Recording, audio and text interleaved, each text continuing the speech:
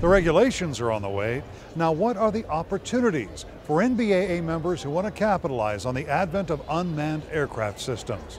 From NBAA 2014, I'm Pete Combs with a convention video minute.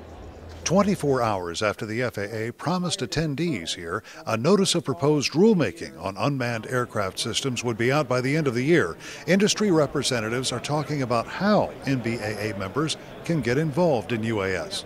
Why would we want to do that? Well, because what is now a $13 billion industry is expected to grow more than tenfold in the next decade.